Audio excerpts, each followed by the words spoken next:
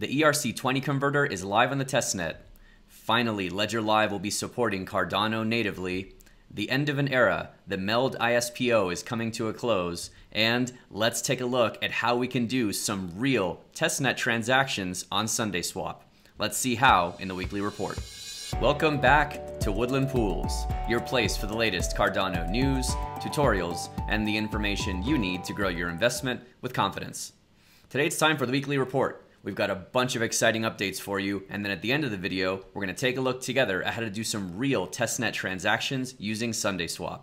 Let's jump in. So last week we talked about a lot of these things that were going to be live by the time the video published, but now they actually are. And the first one is the AGIX ERC20 converter is now live on the testnet, so you can actually go today and test this out.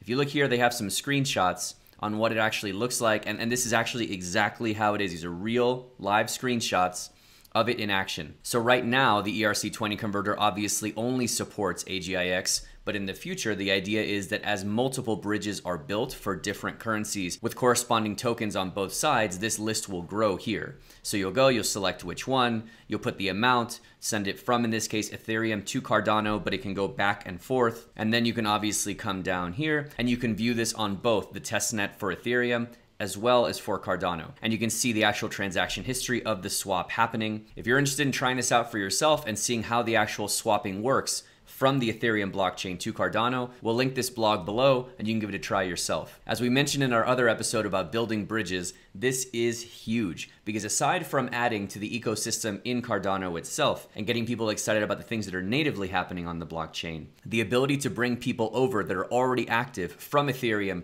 to Cardano, where they can, for example, bring over their AGIX tokens and then paired with what we're going to look at later with SundaeSwap, then be doing swapping on the Cardano blockchain faster, more securely, and for significantly lower fees. This is going to bring a whole other group of people that are just ready to go and want to do transactions. That we have a captive audience here that wants to be wasting less money on swaps and wants to have a more secure way to do it. So, the SundaeSwap piece we're going to look at and how the swaps happen is super exciting. But these kinds of bridges and the more that we can build that bring people over with their assets that can be swapped is a huge thing that's going to be coming out and continuing to be built out in the near future on the Cardano blockchain. Really, really exciting stuff. Love to see that this is live on the testnet now. Next, Ledger just wrapped up their conference in Paris, and the thing that we're most excited about, and probably many of you out there, is that they are proud to announce that they'll be integrating several different currencies, including Cardano, directly into Ledger Live. A big complaint we've heard from a lot of people is Ledger is great, Ledger Live is also really nice to work with and really, really smooth, but why do I have to get another third party interface to manage my funds? As we've been saying for a while, the main thing that we suspected Ledger was waiting on was for all these big developmental milestones to finish up, like get proof of stake and delegation out of the way, get the ability to handle multi assets out of the way, get smart contracts live and up and running. And now the dust has settled on that a little bit, it makes sense that there's a good time now for Ledger to say, okay, all of the major functionality on Cardano is now settled. Now it's just iterative improvements. Okay, let's build it into Ledger Live. Super exciting, and we'll keep you updated on more as we hear more. Next, the end of an era. For those of you that were delegating to Meld as part of their ISPO, keep in mind that the ISPO is coming to a close. And after this point, you will not be getting any more MELD tokens. So for those of you that used to be Aspen delegators and went over to MELD, congratulations on your tokens. We'd love to have you back. And keep in mind that the SundaeSwap ISO has not started yet, so we have a good gap here between when MELD is ending and when SundaeSwap is starting and delegating to any of the scooper pools that SundaeSwap is hosting currently won't be giving you any extra rewards or anything. So we'd love to have you all back. Come hang out in our pool for a bit, and then you know feel free to go off to SundaeSwap, and then you know come back when you're done with that too. There's lots of exciting projects going on, lots of exciting ISOs. But in the meantime, the gaps in between them, if you want to support the channel, we'd really appreciate support a small single pool operator and come delegate to the Aspen Stake pool. The water's fine here. And finally, let's get to it. SundaeSwap is live on the testnet, and you can now do real testnet transactions with SundaeSwap. So let's take a look at how. All right, so the first thing you're gonna want to do is come to testnet.sundaeswap.finance. And when you're here, you're gonna see the ability to just connect straight to your wallet or a nice little guide on how to get started. So let's click on beta guide. And it tells us, welcome to the public testnet beta. And here are the steps we need to do. Step one, download the NAMI browser extension. If you haven't done that yet, we made a video yesterday on how to get and install the NAMI wallet. Check that video out and then come back here and we'll continue together. So assuming you have the NAMI wallet installed, the next thing we're gonna need to do is connect our wallet. So let's do that. I'm gonna click on connect wallet. So by connecting your wallet, you acknowledge this is a public beta on the testnet. So we'll say yes, and we'll click on NAMI. And so look at this, wallet connection error. To use SundaeSwap, adjust your wallet's connection to be for the testnet. This is a great, very helpful error. So as we showed in our NAMI video, if you come to your wallet, click on your little avatar, go to settings and make sure that on network, you switch it over to testnet. Okay, this is really important when you're doing this kind of test work that the wallet is set to testnet. All right, so let's close this back and let's go back to our beta guide. And now let's go to connect our wallet. I agree and NAMI. Okay, now if you have multiple monitors, this is, uh, there it is. this is something that threw me off the first time I did this. Uh, it, it'll pop up on a different monitor potentially, so you're gonna have to bring that back over. The first time I did it, I was like, what the hell's going on? And then I had like six, oh, here we go. Actually, look, here we go. I've got two of these sitting here. So, okay, cool. So now, if you've set your NAMI wallet to testnet, and you clicked accept on the little pop-up that pops up, you'll see here that you're successfully connected when you see your address populating where previously it said connect. So we'll go back to our beta guide. We've downloaded the wallet, we've connected it, and now let's fund it. Okay, so there's a testnet faucet that we're gonna get from SundaeSwap. And yes, we're keeping in mind that these are test assets and not real assets. They're not transferable and they're not worth anything. It's just for us to actually test this out. So that sounds good. And we're gonna get all these different kinds of assets. So let's fund our wallet submitting goodies, request for the wallet, transaction building. So we're gonna let this build and then we'll go ahead and pick up once it goes through. Okay, so important step, uh, the fund your wallet thing for us, which is hanging for about an hour, and finally asking around in the community. Shout out for the amazing Cardano community that we're all a part of.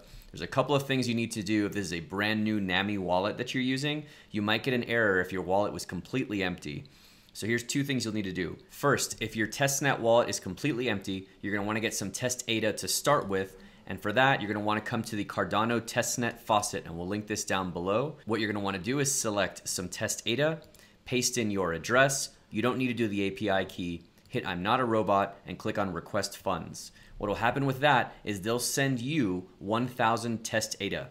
Once that has come in and you've gotten your test ADA, you want to come to your NAMI wallet, click on your little avatar here, go to collateral, and then we see here, add collateral in order to interact with smart contracts on Cardano, and the recommended amount is 5 test ADA. So you're gonna do that, put in your spending password and hit confirm, and then what you'll notice is if yours was stuck like ours was, pretty much right away, as soon as you received your test funds from the Cardano faucet and you've added your collateral, then pretty much immediately, then the funding will go through. So this detail is huge. This collateral needs to be in place for smart contracts to work, which is the whole point of what we're doing with this Sundae test. So make sure you have the collateral added, and if you have no funds to add for collateral, you can get those from the Cardano testnet. Again, we'll link that below. Okay, so now we have the wallet installed, we've connected it, and we've funded it let's go ahead and take a look at what we have. We were just seeing this here, but let's take a look again. We have nearly 2,000 test ADA. About a thousand of it was sent to us by the Cardano testnet faucet that we use to make our collateral, and the other thousand was sent to us by the Sundae faucet, including all of these other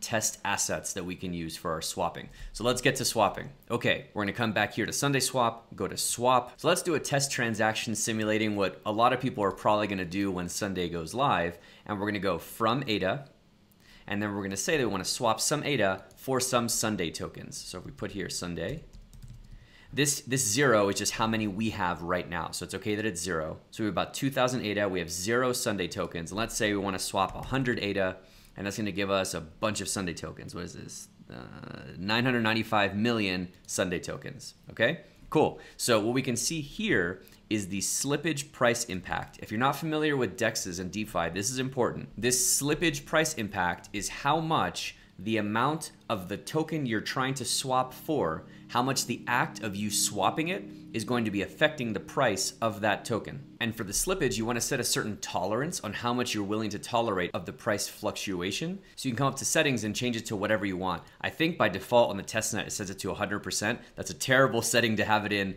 in mainnet, but if for swapping back and forth, if it's illiquid pairs, then maybe that would make sense. Let's set it as some reasonable number, let's say half of a percent, just for now.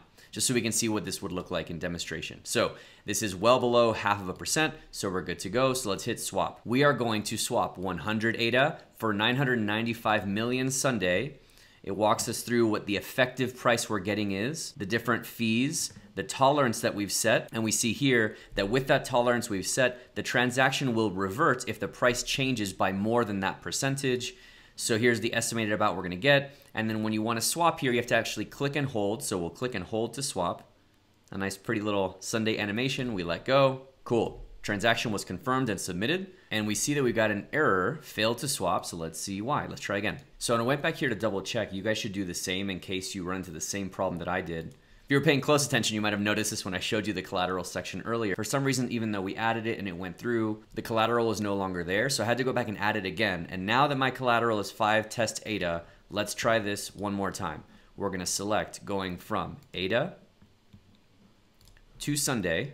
Okay, transaction submitted and we can view it on the Explorer. So if I click on here, all right, it looks like it takes us to the testnet and we can view our transaction. Fantastic. So if I close this here, we can now go to view our transactions. We can see our pending swap. If we look here, we see it has three confirmations. Okay, so you can see here, uh, we actually went ahead and did several other transactions and we tried them out here. So we got a bunch that are pending, some different states here.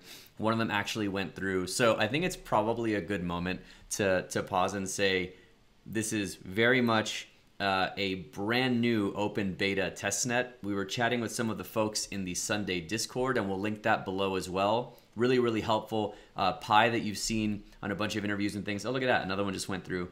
Um, is in there helping answer questions that they're all doing a really great job. But um, apparently, some of it can be a confusing uh, issue with the UI about liquidity that's available or not, or whatever else. So, what we'd recommend if you want to test this out, it's all test ADA anyway um, while they're rapidly iterating through some both clarifying UI issues as well as actual like real issues under the hood, would recommend is probably going from like something like sberry to rberry or even here we did ada to sberry and that one worked. On the one that we submitted before the ada for the sberry that went through it cleared pretty quickly. So um, if it works if it's working correctly it should be less than five minutes for your swap to happen. If it's taking longer than that there's probably some error going on that the UI is just not being very clear about what's actually going on under the hood. So give it a try. If you're having issues, let them know in the Discord because they're looking for exactly this kind of feedback. So we've been chatting with them. And there we go. As we were talking, this just went through in about two minutes was all that it took. So it should be literally just a couple of minutes at most. We can see here for the swaps that successfully went through, our SBerry balance has gone up because we've successfully swapped for those. Rapid iteration and kind of rough around the edges testing, these are what open test nets are all about. Give it a try. Let us know how it's going for you. Let us know in the comments below. And if nothing else, we'll see you next week.